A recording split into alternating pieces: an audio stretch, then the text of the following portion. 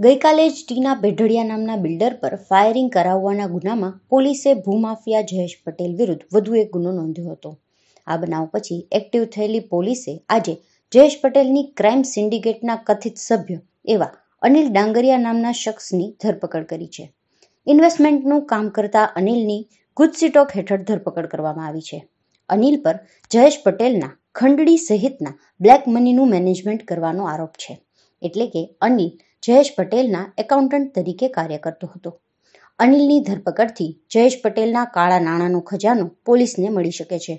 અબજો રૂપિયાના કાળા નાણાંનો પત્તો લગાવવામાં જયેશ પટેલના કથિત એકાઉન્ટન્ટની ભૂમિકા અગત્યની સાબિત થઈ શકે તેમ છે. રાજધાની દિલ્હીમાં ખેડૂત આંદોલનમાં હિંસા પછી વાતાવરણ તંગ છે ત્યારે બોમ્બ બ્લાસ્ટની ઘટનાથી સુરક્ષા વ્યવસ્થા પર સંકટ ઊભું થયું છે. દિલ્હીમાં ઇઝરાયેલના રાજદૂત ભવન નજીક બોમ્બ બ્લાસ્ટ થતા અનેક કારોને નુકસાન થયું છે. સદનસીબે આ બ્લાસ્ટમાં કોઈને ઈજા થઈ હોવાના અહેવાલ નથી.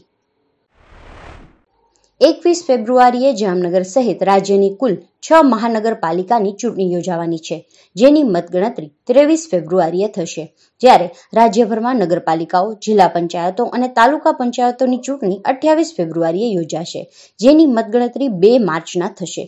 મહાનગરપાલિકાની ચૂંટણીનું પરિણામ પંચાયતોની ચૂંટણી પહેલા આવી જાય તો એ પંચાયતોની ચૂંટણીને પ્રભાવિત કરી શકે છે. આ તર્ક સાથે સ્થાનિક સ્વરાજ્યની સંસ્થાઓની ચૂંટણીઓની મતગણતરી એક જ દિવસે રાખવા ગુજરાત હાઈકોર્ટમાં અરજી કરવામાં આવી છે. આ અંગે આગામી દિવસોમાં હાઈકોર્ટમાં સુનાવણી હાથ ધરાશે. દરમિયાન આજે ચૂંટણી પંચે કોરોના કાળમાં યોજાઈ રહેલી ચૂંટણીમાં પ્રચાર માટે ગાઈડલાઈન જાહેર કરી છે. વધુમાં વધુ પાંચ લોકો જ ડોર ટુ ડોર પ્રચાર કરી શકશે. સોશિયલ ડિસ્ટન્સિંગ તથા માસ્ક પહેરવા જેવા નિયમોનું પાલન પણ કરવું પડશે. કેન્દ્રની મોદી સરકારે રાંધણ ગેસમાં ભાવ વધારો કરી તેમાં સબસિડી આપવાની યોજના શરૂ કરી હતી. છસો રૂપિયાના ગેસ સિલિન્ડર પર લોકોનો દોઢસોથી પોણા બસો રૂપિયાની સબસિડી મળતી હતી. પરંતુ હવે સરકારે સબસિડી યોજના બંધ કરી દીધી છે. અત્યારે ગેસ સિલિન્ડરની કિંમત સાતસો રૂપિયાને પાર કરી ગઈ છે.